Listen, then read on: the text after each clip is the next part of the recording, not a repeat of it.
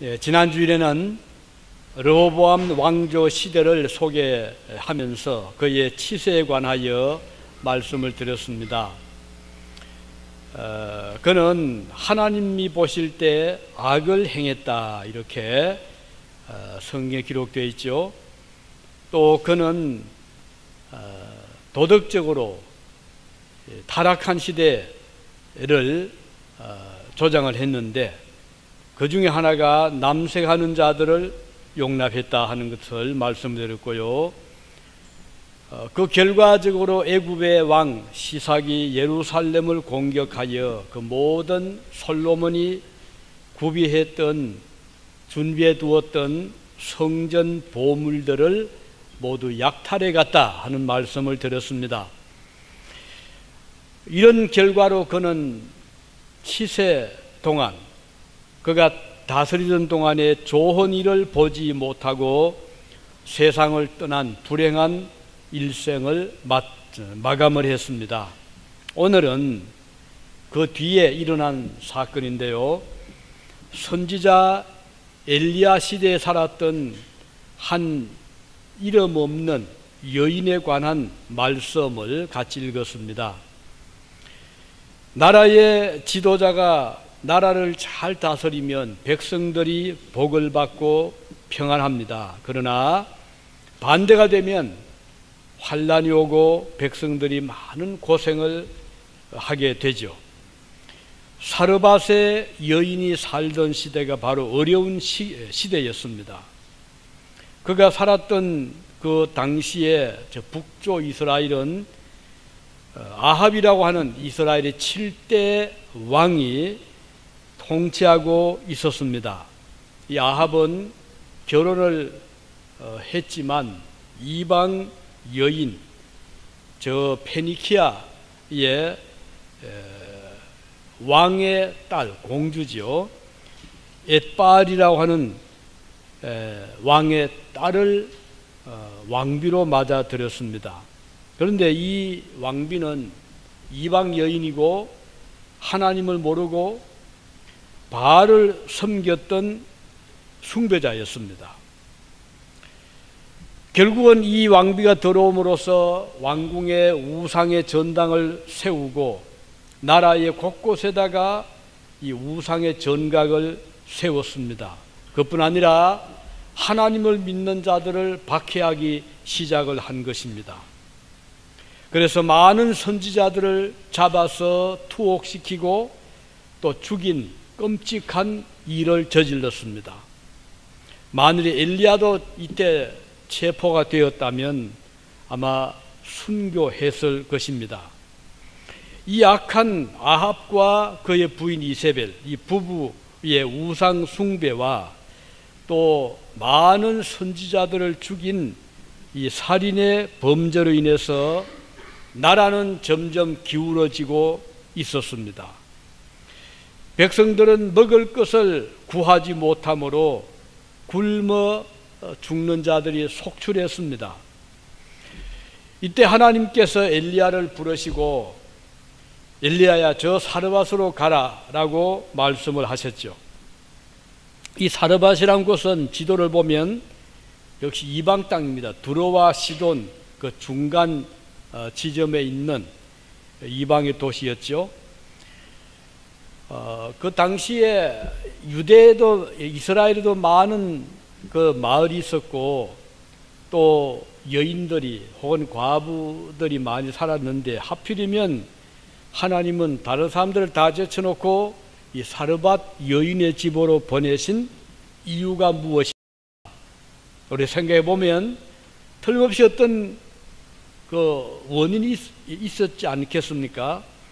근데 이제 전체 내용을 보면 이 사르반 여인은 놀라운 믿음을 가지고 있었습니다. 이걸 보면 하나님께서 믿음의 사람을 항상 주시하고 있음을 볼 수가 있습니다. 오늘 본문 구절에 보면요. 너는 일어나 시, 어, 시돈에 속한 사르밧으로 가서 거기 머물라. 내가 그곳 과부에게 명령하여 내게 음식을 주게 하였느니라. 이걸 보면 비록 여인이 혼자 살고 있었지만 아들 들고 살고 있었지만 하나님이 각별한 관심을 가지고 있음을 볼 수가 있습니다. 그래서 엘리야는 하나님 말씀을 듣고 사르바스라는 동네로 찾아갔지요. 마침 성문에서 어떤 사람이 나뭇가지를 줍고 있었는데 그가 바로 이 하나님께서 만나라고 하신 여인이었습니다. 그래서 엘리야가 그에게 말을 했죠. 지금 내가 목이 마르고 배고프니 나에게 마실 물과 떡을 좀 주면 좋겠다 이렇게 요청을 합니다.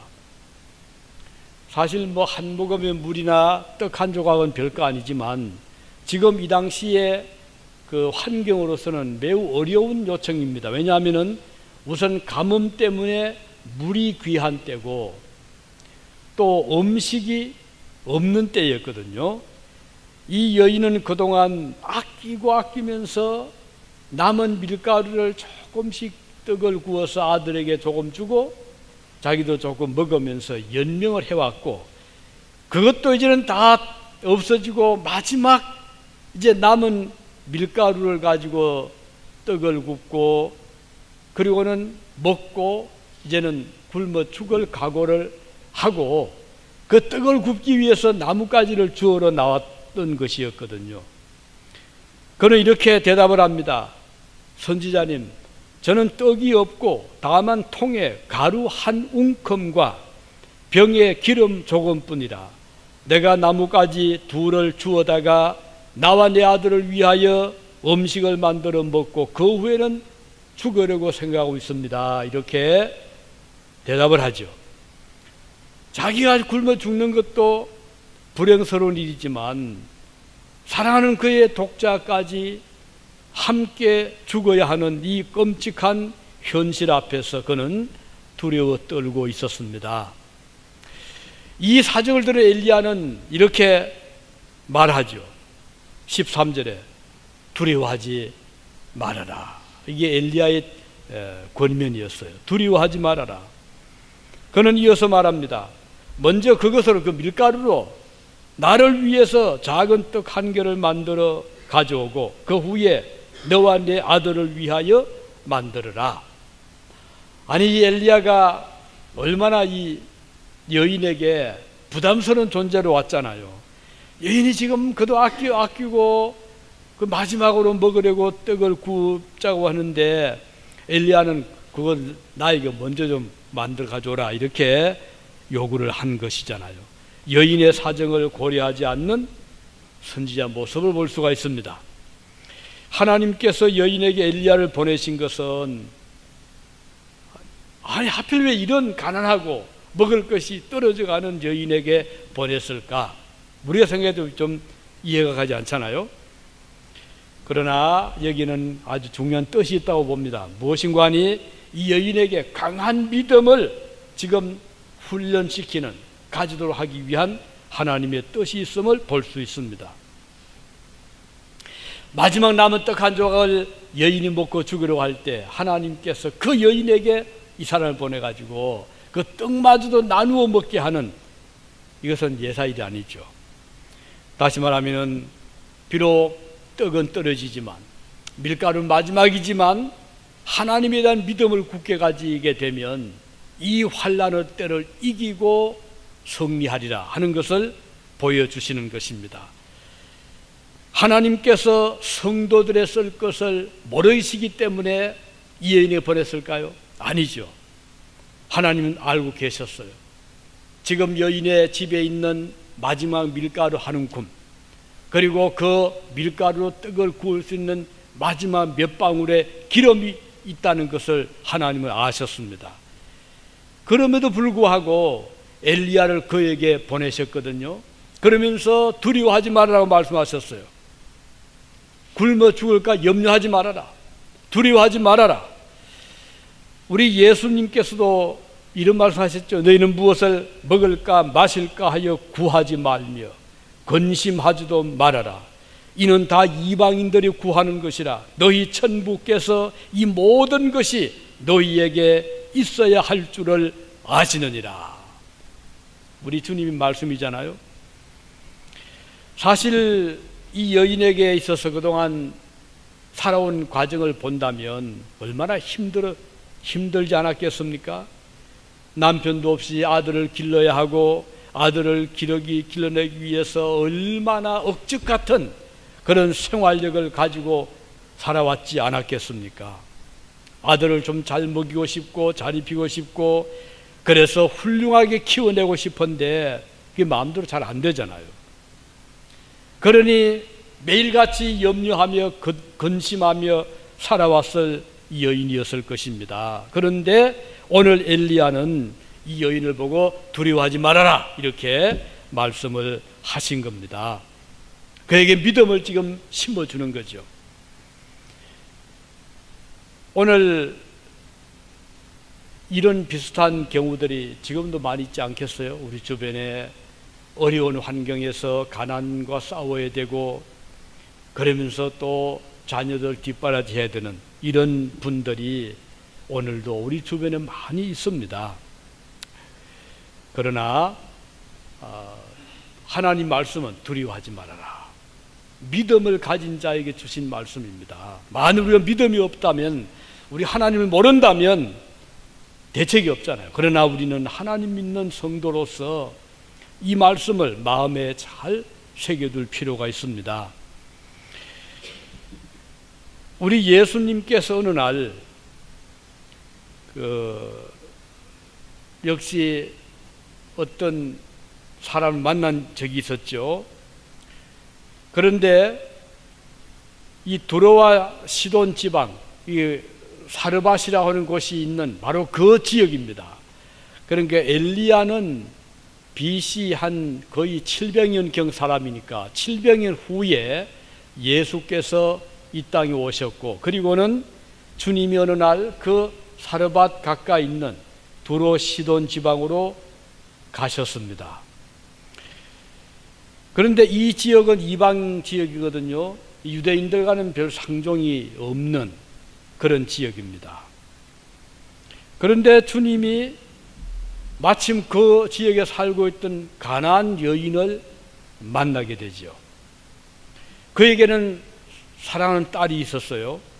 근데 그 딸이 귀신이 들려 있었어요. 흉악한 귀신이. 아마 여러분들이 귀신이 정말 존재할까 이렇게 생각할 수도 있겠지만 귀신은 영물입니다. 존재하고 있습니다. 그리고 이 귀신이 때로는 사람들을 사로잡으면 사람들을 아주 힘들게 하고 폐인으로 만드는 경우들이 있습니다. 근데 이제 이 어머니는 그 딸이 하나밖에 없는 딸이 귀신이 들려서 폐인이 돼가는 것을 보면서 얼마나 힘이 들었겠습니까? 그래서 주님을 찾아와서 이렇게 말합니다.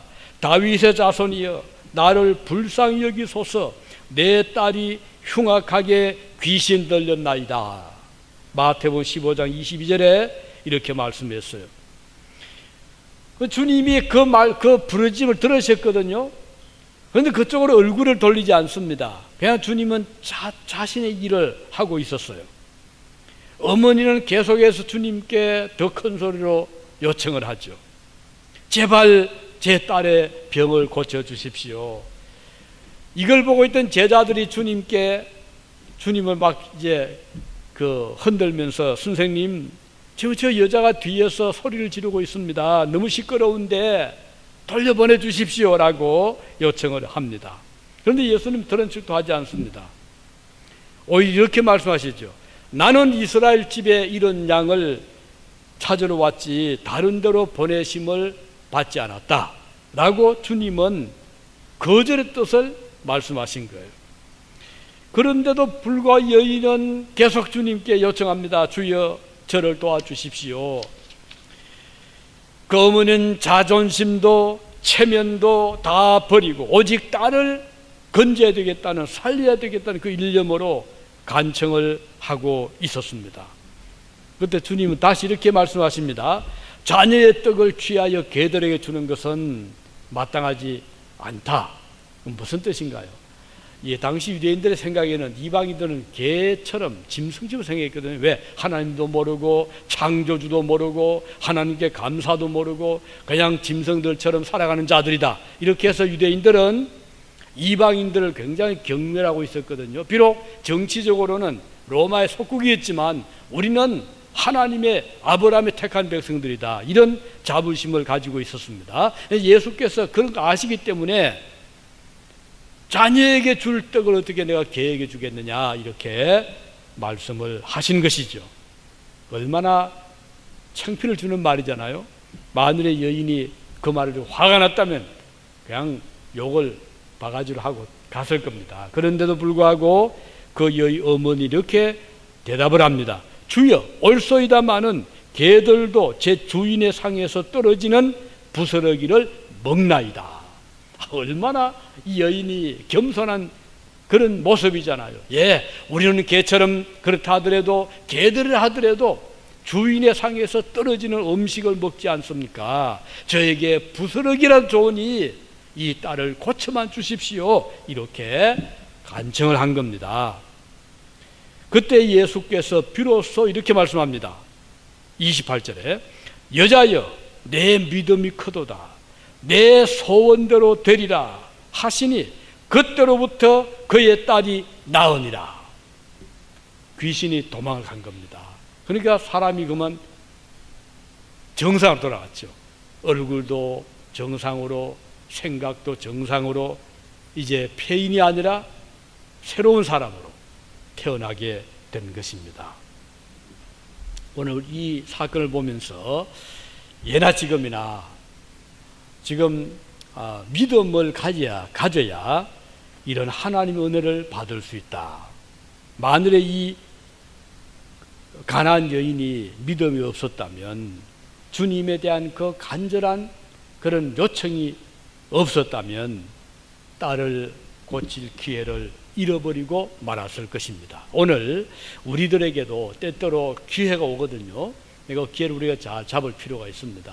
개인적으로도 그렇고 가정적으로도 그렇고 또는 크게 국가적으로도 어떤 기회가 오는데 이것을 우리가 잘 붙잡는 우리 그리스도인들은 믿음으로 승리하는 자들이 되어야 됩니다. 두려워하지 말고 염려하지 말고 하나님 은혜를 굳게 붙잡고 나가면 하나님께서 어려운 그런 여건에서 능력을 베풀어 주시고 회복시켜 주시고 고쳐 주시는 것을 우리는 이 말씀을 통해서 알 수가 있습니다. 자, 여인은 두려워하지 말아라 하는 엘리야의 말을 들었습니다. 믿음은 두려움을 물리칩니다. 믿음은 걱정과 염려를 다 제거하는 힘이 있습니다. 자, 또 한 가지는 여인의 믿음은 자, 믿음으로 두려움을 이긴 믿음이었다. 또 한 가지 믿음은 이 여인의 특징은 순종하는 믿음이었잖아요. 만일 그 여인에게 믿음이 없었다면 어떻게 마지막 먹을 떡 한 조각을 잘라가지고 이 엘리야에게 줄 수가 있었겠습니까? 오히려 역정을 내지 않았겠어요? 자기의 어려운 사정을 배려하지 아니 나는 지금 마지막 먹고 주려고 하는데 그것마저 또 달라고 하니 너무 야속합니다. 이렇게 말할 수가 있었겠죠. 그러나 놀랍게도 이 사렙다 여인은 주저하지 아니하고 떡을 구운 다음에 아들에게 주기 전에 자기가 먹기 전에 그 중에 일부분을 잘라서 엘리야에게 먼저 제공을 했습니다. 이것은 그의 순종하는 믿음의 자세입니다. 아들에게 줄 떡 한 덩이를 나누어서 나그네처럼 불쑥 나타난 사람에게 준다는 것은 상상할 수 없는 일이잖아요. 그러나 그의 마음속에 깊이 뿌리 내리고 있었던 믿음은 그 일을 가능하게 했습니다. 자, 우리가 믿음이라고 할 때 이런 믿음이 나 믿음 있을까라고 자기를 진단을 한다고 하면 믿음의 증거가 있어야 되지 않겠습니까? 나에게 믿음이 있다면 증거가 뭔가? 우리 많은 그리스도인들이 믿음의 증거를 가지고 있었습니다. 모세도 그랬고 엘리야도 그랬고 그랬고 다니엘도 그랬고 또 뭐 베드로도 그랬고 사도 바울도 그랬고 믿음의 증거들이 너무너무 많아요. 만일에 증거가 없다면 참 슬픈 일이거든요.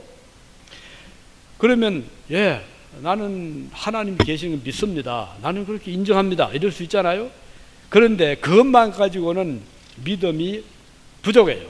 왜냐하면 사탄도 하나님의 존재를 부인하지 않습니다. 하나님이 계신 걸 벌벌 떱니다. 그러나 믿음은 없는 것이에요. 오늘 우리가 지적으로 내 이 버레인 속에 아, 하나님 존재하지. 나는 하나님 부인하지 않습니다. 나는 만물이 하나님께서 지으신 것으로 믿습니다. 라고 할 수 있지만 그것만 가지고는 온전한 믿음이 될 수 없다는 것입니다. 우리가 교회 나온다고 다 믿음 가지고 있나요? 아니잖아요. 많은 교인들이 주일날 교회로 오지만 그 마음 속에 믿음이 없을 수가 있는 것이에요.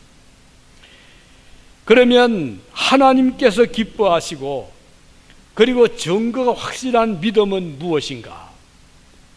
그 중에 하나가 중요한 증거가 믿음과 순종입니다. 이 두 가지는 서로 뗄 수가 없어요. 내가 믿음이 있다고 하면 그 증거로서 하나님 말씀에 대한 순종이 따라와야 되는 것입니다. 사무엘 선지자 이렇게 말씀했죠. 순종이 제사보다 낫고 듣는 것, 그 하나님 말씀을 듣는 것이 수양의 기름보다 나으니 아주 중요한 말씀이에요. 순종이 제사는 예배거든요. 예배가 참 중요하지만 예배보다 더 중요한 것이 뭐냐? 순종이다. 그 말씀이에요. 우리가 아무리 좋은 그런 환경에서 찬양을 드리고 기도를 하고 또는 뭐 봉사를 해도 하나님의 말씀에 대한 순종이 없다면 우리의 뭐그 모든 의식이나 제사, 예배는 아무런 의미가 없다는 것입니다. 하나님께서 아브라함을 기뻐하셨는데 그 이유가 무엇인가? 아브라함에게는 이론적인 믿음이 아니라 실체적으로, 실질적으로, 경험적으로 하나님 말씀에 대한 순종이 있었다는 것이에요. 어느 날, 어느 날 하나님은 아브라함에게 찾아오셔서 아브라함아 너 집을 고향을 떠나라 친척을 떠나라 라고 하셨어요 아무 이유가 없었어요 왜 떠납니까? 내가 여기서 지금 기반을 잡고 우리 집도 여기 있고 친척이 있는데 왜 떠나라고 하십니까? 라고 항의할 수 있잖아요 그런데 아브라함은 하나님 말씀을 듣, 어, 듣게 되었을 때 바로 집을 떠나려고 준비를 했습니다. 그리고는 정리합니다. 집도 정리하고 가산도 정리하고 그리고는 그 고향을 떠났죠. 이게 쉬운 게 아니잖아요. 그리고 어디로 가라는 어떤 장소를 지정해 준 것도 아닙니다. 내가 너희 지시할 것이니 일단 고향을 떠나라. 그래서 아브라함은 하나님 말씀을 듣고 고향을 떠나게 된 겁니다. 이게 바로 오베이 하는 순종하는 것입니다. 자, 이렇게 해서 이제 집을 떠나서 가는데 하나님께서 가는 곳마다 은혜를 베풀어 주셨잖아요. 네, 이제 양도 점점 많아지게 하시고 재산도 많아지게 하고 어떤 위험한 일이 오면 하나님 보호하시고 과연 하나님께서 그를 떠나라고 하신 그 이후로 책임을 지시고 아브라함 가는 곳마다 하나님은 동행해 주셨어요. 그리고 백세쯤 되었는데 아들까지 주셨잖아요. 그래 얼마나 좋았겠어요. 참 잘 떠났다. 하나님 말씀 잘 들었다. 라고 할 때 하나님이 또 아브라함을 찾아오셔서 그리고는 말씀하시기를 아브라함아 내 독자 이삭을 제물로 바쳐라. 아 이런 또 말씀을 듣게 됩니다. 얼마나 어려운 하나님의 명령이잖아요. 자, 독자 이삭, 백세에 얻은 그 금지 오겹 같은 아들 하나, 나이 17세, 한창 잘 자라는 그 나이 때 하나님은 아브라함에게 내 독자 이삭을 제물로 바쳐라. 그 말은 죽여서 제사를 드려 이 말이거든요. 자, 아브라함이 잠을 잘 수 있었겠습니까? 그는 얼마나 고민을 했겠습니까? 자, 이걸 어떻게 해야 되나? 그런 아브라함 마음 속에는 여기에 대한 항의나 또는 거부가 없었어요. 문제는 자기 아내입니다. 만일에 사라에게 그 말을 했다가는 사라가 기절을 할 것 같거든요. 저러다 어떻게 하나. 그래서 아브라함 고민하다가 하나 묘안을 냈습니다. 뭔고 하니 아내에게는 비밀로 붙이자. 그래서 아내에게는 그 말 하지 않았어요. 다만 한 말은 내가 지금 아들과 함께 산에 가서 제사를 드리고 오겠소. 이게 아브라함의 말이었어요. 그러니까 사라는 뭐 제사 드리러 간다는데 막을 이유가 없잖아요. 아, 그렇게 하시라고. 그래서 이제 아브라함은 아내는 집에 두고 그 이제 약대에다가 얼마의 이제 물건을 싣고 아들을 또 태우고 이제 산으로 가는데 사흘 길이잖아요. 거리가 멀었어요. 가면서 고심 얼마나 고심했겠습니까? 그런데 아들이 물어요. 아버지, 전에 같으면 제사 지내러 갈 때 재물을 가지고 갔는데 양을 가지고 갔는데 오늘은 양이 없네요. 이 아브라함이 뭐라고 답을 해, 해야 되겠습니까? 하나님께서 아브라함의 지혜를 주셨어요. 예, 이사가 걱정하지 말아라. 재물은 하나님이 예비해 주실 것이다. 하나님이 준비해 주실 거다. 라고 대답을 한 겁니다. 산 밑에까지 갔어요. 그런데 이제 문제는 또 같이 따라온 종입니다. 만일에 종이 아브라함의 그 뽑은 칼을 볼, 본다면 어떻게 하겠어요? 아니 이 주인 주인 어른이 정신이 좀 돌았나? 세상에 아들을 죽이려 하다니 극구 자기를 죽여달라고 했을 겁니다. 그래서 아브라함은 종을 산 밑에 있게 한 겁니다. 이게 참 얼마나 그 단호한 아브라함의 그의 그 결심 볼 수 있잖아요. 우리가 하나님을 따라가려고 하면 때때로 이런저런 고비들이 또 방해 세력이 많아요. 자, 아브라함 그때마다 아내는 집에 두게 하고 그리고 종은 산 밑에 있게 하고 그런 방해 요소들을 미리 차단을 한 겁니다. 바로 이것이 주를 섬기는 자들의 지혜로운 모습이 아니겠어요? 그래서 이제 산에 가서 아브라함은 이제 이 얘기를 해줘 아들에게 이제 나이 17세니까 알아들을 만한 나이는 되잖아요. 그래서 이야기를 차분히 한 겁니다. 아, 이사가 사실은 내가 하나님께 이런 명령을 받았다. 하나님이 너를 주신 그 하나님, 나이 백세 때 너를 주어서 지금까지 잘 키우게 했는데 하나님께서 너를 제물 요구하신다. 라고 설득을 시킵니다. 근데 이삭이 참 대단하죠. 이삭도 도망가지 않았어요. 아버지를 대항하지 않았어요. 그는 순순히 그 어, 몸이 묶여집니다. 참 대단한 겁니다. 근데 이제 한 가지 희망은 주었지요. 이사가 그렇지만 하나님은 부활의 하나님이시다. 다시 너를 살려주실 것이니 너는 그렇게 생각하고 이 칼을 받으라. 그러니 이삭이 그대로 받아들인 거죠. 자, 여기에서 중요한 것은 아브라함의 믿음입니다. 독자 이상마저도 하나님께 드릴 각오가 되어 있는 믿음. 그래서 우리는 아브라함을 믿음의 조상이라고 말하잖아요. 요즘에 우리가 믿음을 자랑을 하는 자들을 보는데 자랑은 많이 하는데 들여다보면 순종이 없습니다. 이것은 저거 싫고요. 저는 이것은 저는 거부합니다. 이런 자들이 얼마나 많습니까?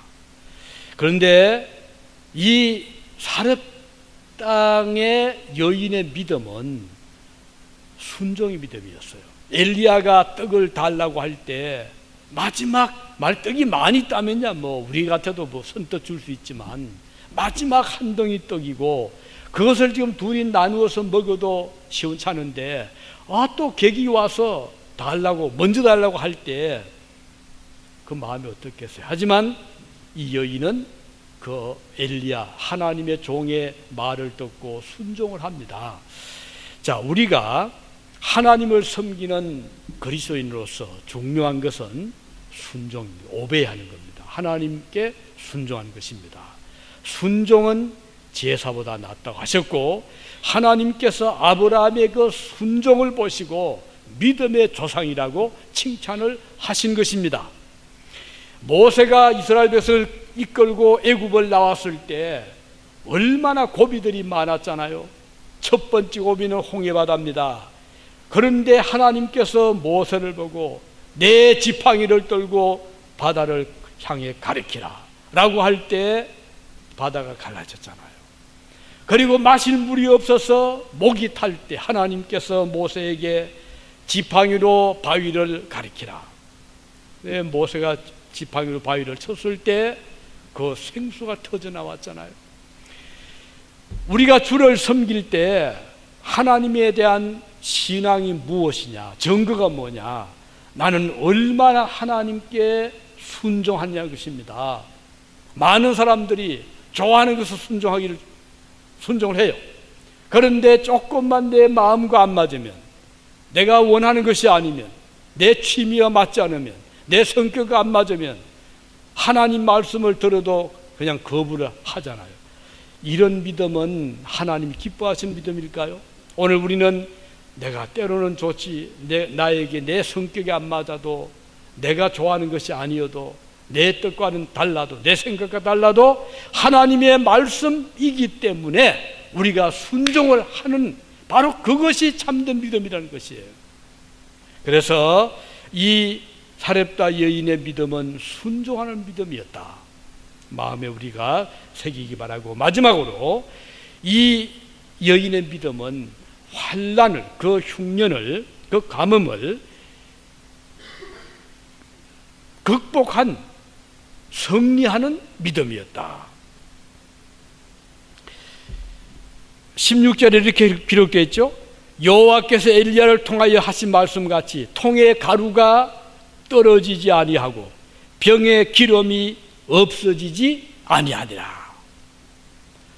그러니까 하나님께서 이 여인의 믿음을 보시고 그 가루를 전부 다 털어서 떡을 구웠고 마지막 남은 기름으로 떡을 구워냈음에도 불구하고 다시 저녁에 보면 아니 낮에 다 털었는데 또 가루가 들어 있고 기름이 들어 있습니다. 그 가뭄이 다 지나기까지 흉년이 다 지나기까지 계속해서 끊임없이 가루가 기름이 떡이 음식이 그 가정에 떨어지지 않았던 것이죠.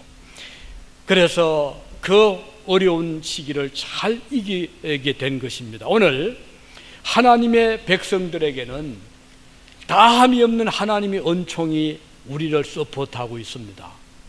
그래서 우리는 열심히 해서 다 진액을 쏟아서 우리가 일을 했는데 또 하나님이 건강을 주시고 또 하나님 힘을 주시고 능력을 주시고 필요한 물질을 주셔서 그 일을 하게 해 주시는 거예요. 우리는 그 뭐 환경이 좋고 뭐 아주 대형 교회 같으면야 뭐 그런 어려운 것을 몸으로 느끼지는 못할 겁니다. 하지만 여러분들 기억해야 될 것은 아무리 교회가 커도 그 안에는 그 안대로 또 어려움이 있습니다. 뭐 크면 걱정도 없을 것 같고 하지만 그렇지 않아요. 크면 큰 대로 적으면 적은 대로 이 세상의 교회들은 끊임없이 영적인 싸움을 하게 돼 있는 거예요. 적다고 쉬운 것이 아니고 크다고 어려운 것이 아니에요. 적으면 적은 대로 그 그게 또 걸맞는 끊임없는 시련과 시험이 닥쳐오고 크면 큰 대로 마찬가지예요. 따라서 오늘 우리는 문제는 우리의 믿음의 자세입니다. 이것을 극복 승리하는 믿음을 우리가 가져야 되는 것이에요. 그래서 이 환란이 다 지나게 그 언제까지죠? 우리가 천국 들어갈 때까지. 주님이 우리를 부르시는 그때까지 우리는 끊임없는 이런 영적인 전투의 자세를 가져야 됩니다. 그 크롬 영국의 그 청교도였던 크롬에는 내 화약고의 화약을 항상 말려두어라. 이게 젖어 있으면 제대로 폭발을 하지 못하대. 대포를 못 쏘잖아요. 그래서 우리 그리스도인들 항상 영적으로 사탄과 대적하고 세상과 싸울 그런 믿음의 준비를 해야만 되는 것입니다. 이렇게 되면 아무리 공격을 해와도 죄악이 우리를 물밀듯이 밀물처럼 우리를 덮쳐와도 그리스도인들은 이것들을 능히 물리치고 승리할 수가 있는 것입니다. 그래서 우리는 항상 기도로 깨어 있어야 되고 하나님의 능력을 의지해야 되는 것입니다. 지난 주일에 말씀드렸던 그 남아메리카 선교 후원 요청을 받았을 때 사실 우리 입장으로서는 이걸 어떻게 당장 천마디로 노 해야만 됩니다. 그 적은 요청도 아니었고 그런데 저는 no 하고 싶지 않았던 것은 하나님께서 우리를 통해서 우리 교회를 통해서 저를 통해서 이 선교하는 그 선교 사역에 어, 하나님께서 우리를 쓰시기를 원한다면 우리가 no할 수가 없다. 그 생각이 첫 first impression으로 제게 찾아왔습니다. 그래서 제가 노하지 않고 기도를 하기 시작했습니다. 하나님 길을 열어주시기 바랍니다. 지금 우리 형편으로서는 감당할 수 없지만 하나님 도와주세요. 주님이 함께 하시면 그 일을 할 수 있을 것을 믿습니다. 제 기도였습니다. 그리고는 한 달 정도를 한 달 채 안 됐죠. 기도를 어, 했는데 한국에서 예기치 못한 또 헌금을 보내 주심으로 제가 바로 그 선교사님께 답을 보내면서 선교사님 하나님께서 저희의 기도를 우리의 기도를 들어 주셨습니다. 그래서 제가 요청한 대로 전액 어, 도와드리겠습니다 하고 바로 어, 그 며칠 후에 도와 그 책을 보냈는데 답이 왔습니다. 잘 들어와 너무 감사하다고. 어, 저는 그때도 생각을 했습니다. 하나님께서 함께 하시면 우리의 힘 가지고 안 되지만 하나님은 우리로 하여금 감당할 수 있도록 힘을 주실 것이다. 이렇게 믿었고 그 믿음대로 주님이 도와주셨습니다. 이제 우리 앞에는 계속해서 우리가 이 싸워야 될 영적인 우리의 그 대상이 있습니다. 그 싸운다는 말을 꼭 나쁜 뜻으로 보지 말기 바랍니다. 좋은 의미도 있어요. 선교의 선한 싸움, 믿음의 선한 싸움, 섬, 섬김의 선한 싸움.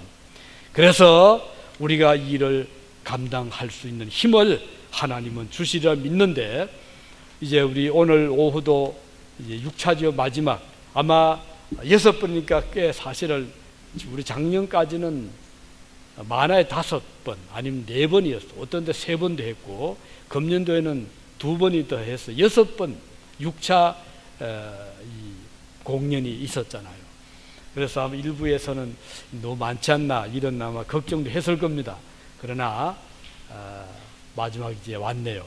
지난 5차까지는 잘 되고 지난번에 아마 가신 분들 보셨겠지만 얼마나들 참 기뻐하고 그 같이 어, 몸을 움직이면서 일, 일체감을 우리가 지난주 느꼈잖아요. 너무 감사해서 또 많은 반응도 해오고 질문도 해오고 어, 근데 이제 오늘 어, 마지막 잘 마치도록 기도해 주시기 바라고 그리고 이제 다음 주는 아, 우리 이제 아시아 축제 행사가 있어서 또 이건 엄청난 아, 여기는 헌신이 필요합니다.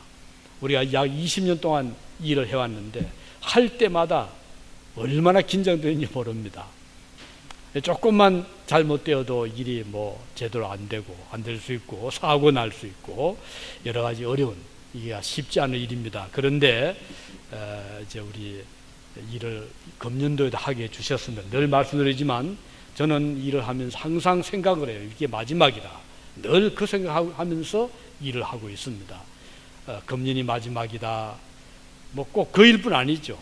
우리가 교회를 할 때 또 어, 우리가 무슨 일을 하든 이게 마지막이 될 수가 있다 하는 생각을 늘 가지고 일을 해 왔는데 이번에도 그런 마음으로 그런 각오로 일을 준비하고 있습니다. 기도해 주시기 바라고 또 여러분들이 하나님 주시는 그 힘대로 이번에도 많은 도우심을 베풀어 주시기를 바랍니다.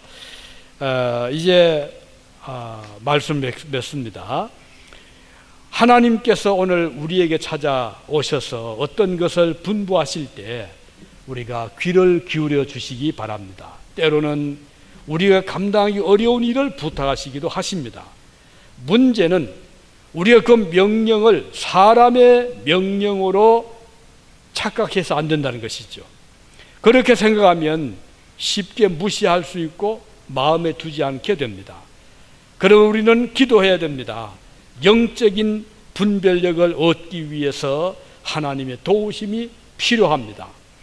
기도의 사무엘 사람 사무엘은 이렇게 기도했죠.